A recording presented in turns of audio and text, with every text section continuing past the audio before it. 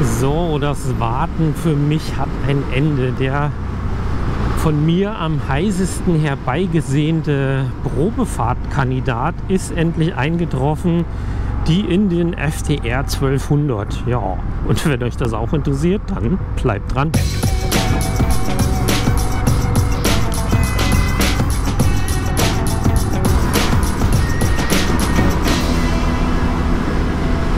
Hallo zusammen und willkommen zu einer neuen Folge. Und wie gesagt, zu einer der von mir am heißesten herbeigesehnten Probefahrten für dieses Jahr. Letzte Woche im Video habe ich ja gerade noch mein Leid geklagt, dass die so lange auf sich warten lassen, äh, meine Top-Kandidaten. Jetzt ist mein alleroberster Top-Kandidat eingetroffen, die Indian FTR 1200. Und bevor ich jetzt anfange, will ich gerade mal den Alex von Rhönmotor zu Wort kommen lassen. Ja, so, guckt mal, wo wir endlich sind. Das lange Wert wird endlich gut und so ist sie endlich angekommen. Eine meiner Top-Favoriten für dieses Jahr, muss ich sagen, oder meine äh, heiß begehrtesten Kandidaten, die FDR 1200. Und ja, schätze mal, du bist auch reichlich froh, dass sie endlich da ist, oder? Ja, wir haben sie ja versprochen bekommen, schon seit März sollte sie spätestens hier sein. Aber wie du schon sagst, was sehr gut werden soll, muss ja auch ein bisschen Weile und Arbeit machen. Wir haben sie jetzt endlich da. Wir stehen jetzt hier vor einer FTR 1200S Race Replika. Wir haben, das ist für dieses Jahr die beste Ausstattung, die es gibt. Wir haben äh, einen Preis von etwas über 17.000 Euro. Wir haben 130 PS knapp bei 1200 Kubik. Wir haben serienmäßig den roten Rahmen, der ja deinem Motorrad sehr, sehr ähnlich sieht.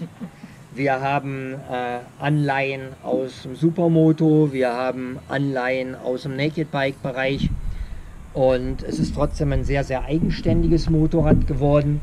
Wir haben drei Fahrmodi mit einer wunderbaren Sitzposition, was du ja gleich ausprobieren kannst. Selbst nach zwei Stunden fühlst du dich auf dem Motorrad immer noch nicht eingesessen, dass du sagst, ich muss mal langsam tanken, sondern es ist sehr, sehr, sehr bequem. Aber wir haben auch ein Motorrad, was ich glaube, was ich hier ruhig äh, vor der Kamera sagen kann, wir hatten noch nie so ein sportliches Motorrad aus Amerika. Mhm. Was so gutmütig zu fahren ist und was so viel Spaß macht. Du kannst dir nachher hier im Display dein eigenes Display wählen, ob du mit Drehzahlmesser im Vordergrund oder Analoganzeige optisch. Du kannst eins der drei Fahrmodi wählen zwischen Standard, Sport oder Cruisen. Du kannst dir äh, ja, selbst am besten mal ein Bild machen und wir reden nochmal darüber, wenn du wiederkommst, weil ich glaube immer Fahren macht viel mehr Sinn, als hier lange zu reden. Und Nachfrage bisher ist groß? Ja, die Nachfrage ist nach dem Motorrad sehr, sehr hoch gewesen. Wir haben äh, von den Vorbestellungen, die wir selber hier bei uns getätigt haben, die Hälfte schon verkauft gehabt am Ende letzten Jahres. Mhm. Und ich bin froh, ein Fahrzeug jetzt muss ja als Vorführer bleiben, aber die jetzt alle so reinkommen, auch nächste Woche kommen wieder zwei, die gehen direkt raus. Und zum Glück ist ja noch die Saison am Höhepunkt erst gerade und noch nicht vorbei.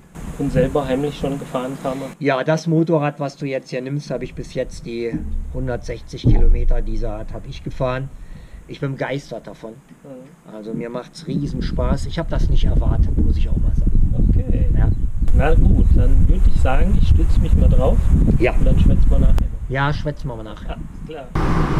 So, und ich bin jetzt da hier wirklich selber unterwegs und die ersten paar Meter habe ich leider noch haufenweise mit Verkehr zu kämpfen und das auf meiner allerliebsten äh, die geht immer Strecke. Deswegen muss ich jetzt mal gucken. Hinter mir steht auch schon wieder einer. Hm. Bisschen Mist, aber ich kann auf jeden Fall schon mal sagen, ähm, da wurde nicht zu viel versprochen. Man sitzt hier echt angenehm drauf, obwohl der Sitz ganz schön fest ist, ganz schön hart ist. Aber die Sitzposition ist echt cool. Also hat was. wie gehabt, äh, ich suche mir ja meistens schon Kandidaten raus, bei denen das so ist.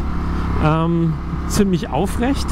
Hier ist es jetzt noch so, dass meine Arme allerdings relativ weit ausgestreckt sind dabei beim Sitzen, aber fühlt sich hier für mich erstmal nicht unangenehm an. Oh, hier wurde auch ein bisschen geflickt. Hier muss ich auch mal noch mehr aufpassen heute. Ähm, ja, sitzen wie gesagt schön, Beinwinkel richtig geil, hat sowas von Cowboy, würde ich sagen. Da merkt man den amerikanischen Ursprung. Ähm, sitzt sich wirklich angenehm. Mein üblicher Punkt, den ich ja zu gerne anspreche, Spiegel, ich sehe was. Auch wenn sie relativ klein sind, aber sie stehen halt schön raus und dadurch kann man auch wirklich mal an sich vorbeigucken. Das ist ja ganz hässlich hier, dass sie was geflickt haben. Ich meine, eigentlich ist es ja schön, dass hier mal das Teil ein Stückchen Liebe abkriegt, aber hm, dieses Bitumengeklebe ist immer irgendwie nicht so prickelnd.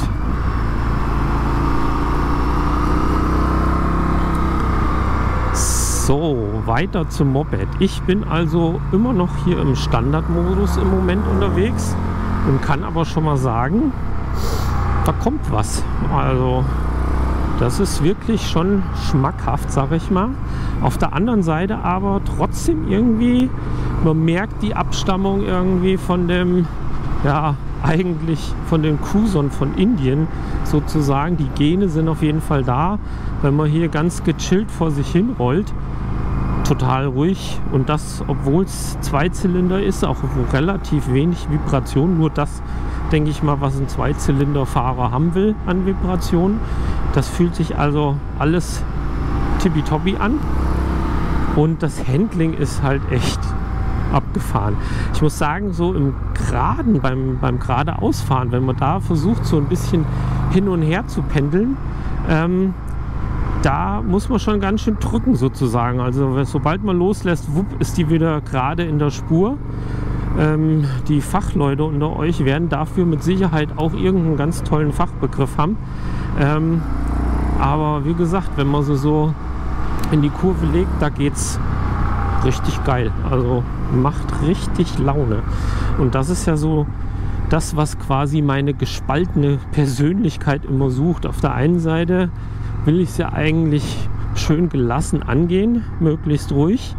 Auf der anderen Seite mag ich halt auch durch die Kurven flitzen so ein bisschen, immer im entsprechenden Rahmen. Und da muss ich sagen, ist das hier echt eine geile Mischung. Also oh, hat was. Womit ich im Moment noch ein bisschen am Hadern bin, und was heißt am Hadern, wo ich mich echt noch ein bisschen drauf einschießen muss, ist die Kupplung. Das ist ja wieder mal der Hammer. Ähm, die geht dermaßen leicht und hat auch einen ziemlich kurzen Weg. Für, für mich bin ich gar nicht so gewohnt.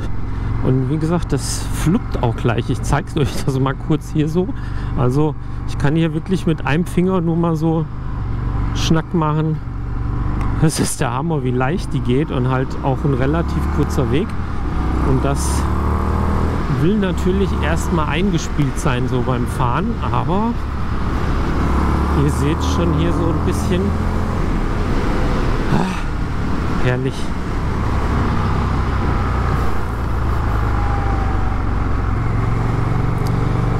So, was ich eben auch noch gezeigt krieg habe, man kann sich also hier je nach äh, Gusto sozusagen sein äh, ja, Dashboard raussuchen, was man gerne hat, auf was man Wert legt, auf die Geschwindigkeit oder auf die Drehzahl, solche Geschichten. Und ich will dann doch jetzt da auch mal umschalten, damit ich auch mal in den vollen Genuss komme und gebe hier mal in den Sportmodus. da müssen wir mal gucken. Ah, muss doch mal die Kupplung ziehen, dann geht er rein und wir schalten wieder rum und dann gucken wir mal. Ja, Merkt schon, ist trotzdem immer noch ganz äh, manierlich, aber uh, da geht schon was.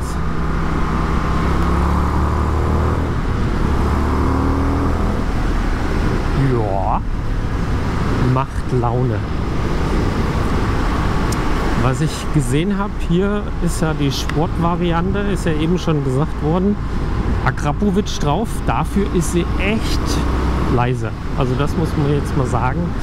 Ähm, wo ich beim letzten Mal mit der äh, Scout Bobber noch den totalen Überraschungsmoment erlebt habe, äh, als ich die Klappe zugegebenermaßen aufgemacht habe. Da ist hier alles sehr manierlich. Also das schon fast ein bisschen schade ist. Viel besser wie die letzten paar Mal, wo ich bei Rollenmotor angehalten habe äh, und dann immer das Bild machen oder das Gucken vergessen habe. Und ich finde, das Schnucki verdient doch auf jeden Fall mal hier richtig in Szene gesetzt zu werden. Super geil. ja, das ist wirklich so meins. Also bei der Triumph war ich ja schon ziemlich euphorisch. Ähm, das ist jetzt ja nicht Retro-Style, sondern halt dieser Flat-Tracker-Style. Und ich muss sagen, den finde ich auch echt abgefahren. Ich meine, hier haben wir jetzt natürlich die, das volle Programm. Wie gesagt, Akrapovic hinten drauf, der sieht natürlich auch schon sehr geschmeidig aus. Auch wenn er jetzt spektakelmäßig meine, für meinen Geschmack ruhig noch ein bisschen was mehr bieten dürfte. Der, der Klang an sich ist echt schön, aber ansonsten, boah, alles, was dem Vater sein Sohn haben will hier. Doppelscheibenbremsen vorne, schöne Upside-Down-Gabel. Mm. Die Gefeder, ich meine, okay, wir haben halt wieder mit Kette zu kämpfen. Ist halt so. Aber ansonsten, ich finde, das Teil hat was. Ist schon sehr geil.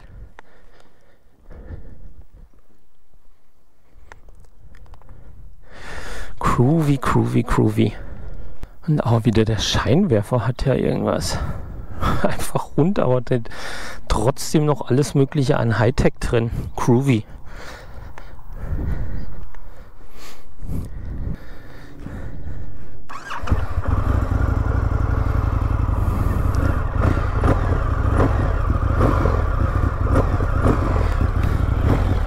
Also er furzt schon schön, aber halt hm, doch sehr eingeschränkt worden. Schade drum. So vom Handling her ist sie ganz schön hoch, aber immer noch, also ich stehe immer noch mit den Füßen flach auf dem Boden. Das passt schon. Und so vom Hin- und Her rangieren ist das schon für Indien, würde ich mal, Indien-Verhältnisse ein Leichtgewicht. Und wisst ihr was? Ich will noch nicht zurück. Muss noch mal zumindest ein Stückchen in die andere Richtung fahren. ein Späßchen. Also wie gesagt, diese Mischung aus hier mal locker vor sich hin cruisen und auf der anderen Seite dann mal sagen, uh, jetzt da aber mal her, gib ihm, ist schon irgendwie herrlich hat was. Also eine richtig schöne Mischung, muss ich sagen. Handling echt cool. Also das Ding macht Spaß und wie immer kann ich euch nur empfehlen, probiert das mal selber aus. Also lasst euch da nichts erzählen. Einfach mal wohin gehen und wirklich das Teil mal ausprobieren. Echt geschmeidig hier. So, zu Bewertung. Der Badass Factor. Und da muss ich sagen, gibt es bei mir heute mal wieder, wenn auch ein bisschen knappere, aber fünf Punkte sind hier auf jeden Fall drin. Diese recht ungewöhnliche Optik finde ich ja total geil. Und diese Kombination, so Flat Tracker, das ist was Neues und ich finde, so wie sie hier dasteht, ist das echt ein geiles Teil und hat für mich auf jeden Fall die fünf Punkte mal verdient. Zum Chill-Faktor und den kann ich jetzt da hier gerade schön demonstrieren. Also die lässt sich wirklich so schön geschmeidig und ruhig fahren und bevor ich jetzt da hier noch was anderes sage, muss ich hier gerade mal wieder gucken. Ja, ich bin noch im Sportmodus drin. Ähm, lässt sich wie gesagt so ruhig fahren, aber wenn es gebraucht wird, dann kommt ja auch ordentlich was. Das ist schon echt geil.